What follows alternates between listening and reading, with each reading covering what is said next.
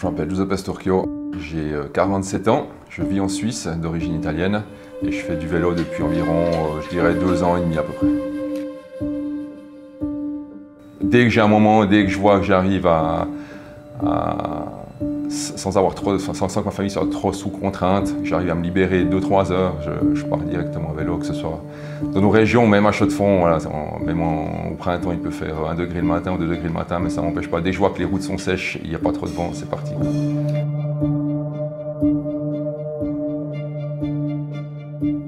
J'avais évalué certains stages qui, étaient, qui me semblaient intéressants sur d'autres parties de, l'Europe, mais j'ai jamais trouvé quelque chose aussi, euh, aussi détaillé, précis et aussi bien organisé. Donc d'après la description, ça m'a attiré.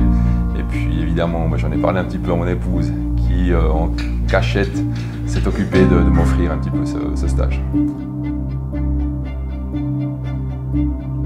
Vivre une, euh, expérience entre guillemets équipe pro, c'est quelque chose qui, que je pensais pas forcément vivre un jour déjà.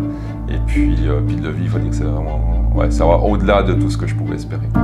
De ne pas s'occuper des crevaisons, de ne pas s'occuper de, l'alimentation, des boissons, ça c'est quelque chose qui est, surprenant. C'est là qu'on voit justement le souci du détail. Et puis c'est vrai qu'on attire un peu le regard aussi hein, quand on croise des autres vélos qui, nous voient en équipe avec, euh, avec la voiture suiveuse. C'est vraiment ça.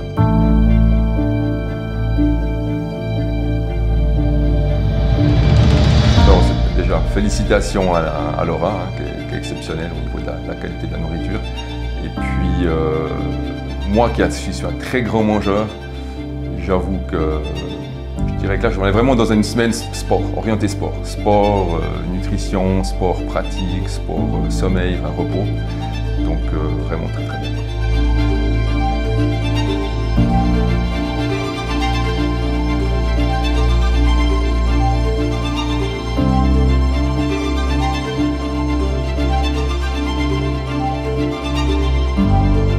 Je regrette même de ne pas avoir pu faire ce genre de stage, je dirais, il y a 10-15 ans en arrière. ça n'existait certainement pas à l'époque, mais c'est vrai que d'avoir, euh, de ne pas avoir fait ce stage au top, on va dire, de la, physique, de la santé physique, on va dire, c'est peut-être un petit peu un regret. C'est vrai que ça c'est quelque chose que j'aurais j'aurais volontiers fait et refait, et, ça, ce sera certainement le cas peut-être dans le futur. J'exclus pas de le refaire ça avec grand plaisir, avec l'accord de, la famille.